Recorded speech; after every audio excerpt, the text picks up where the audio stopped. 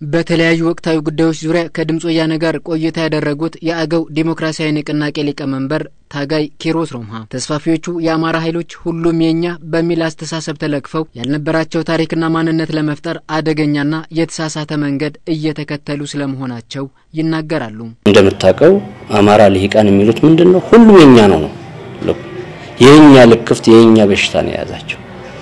ስለዚህ ሲነገራቸው ምንድን ነው ቋንቋው የነሱ እንደሆነ ታሪክ የነሱ እንደሆነ አክሱም ግዕዙ ምናምን የኛ ነው ሁሉም ሰው የሚያውቀውና የሆነ ጊዜ የኛ ነው የሚሉት ነገር የነሱ አለመሆኑን ሲያዩት ሁለቱ ነገሮች አይምሮ ውስጥ ላይ የሚፈጠር ግጭት አለ።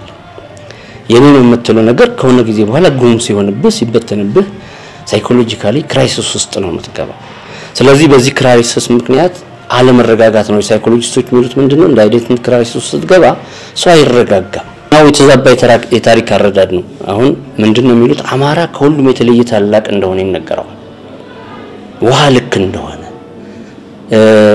እንደገና ኢትዮጵያን የፈጠራትና አሁንም ደግሞ ለህልውናዋ አዳኙ አማራ ነው የሚል ስሜት እንደገና ደግሞ በጣም ሰፊ ግዛት የነበረ በጣም ትልቅ ታሪክ የነበረው ህዝብ የሆነ class ቀምቶታል ተብሎ ነው ታሪክ የሚነገረው።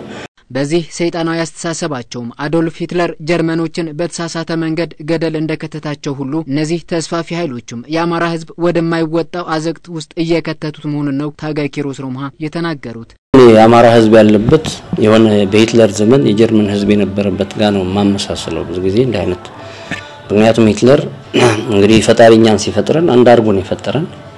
ግን ሂትለር እናንተ የዓለም ከዓለም የተለያችሁ ህዝቦች ናችሁ በሚል ነው ዓለም ጋር እንዲጋጩ ያደረገው። ምንም ለውጥ አላመጣም። ህዝቡ እንዲጠፋ ነው ያደረገው። የአማራ ህዝብም እጣ ፈንታ በተመሳሳይ ነው ማለት ነው። የሂትለርን አካሄድ ነው የአማራ ልሂቃንና ፖለቲከኞች እየሄዱ ያሉት። የአማራ ህዝብ በዚህ ሰዓት በጣም በሚያሳዝን ሁኔታ በጣም ችግር ውስጥ ነው ያለው። እነዚህ ከሰላም ይልቅ ጦርነትን፣ ከአንድነት ይልቅ መከፋፈልን፣ ከአብሮ መኖር ይልቅ መበታተንን ምርጫቸው ያደረጉ ለውይይትም ሆነ ለድርድር የማይመቹ ኃይሎች አሁን ካለው የሀገሪቱ የፖለቲካ ቀውስ የከፋ ነገር ሳይፈጠር የአማራ ህዝብ ለህልውናው ሲል አደብ ሊያስገዛቸው እንደሚገባም ነው ታጋይ ኪሮስ ሮምሃ የሚናገሩት።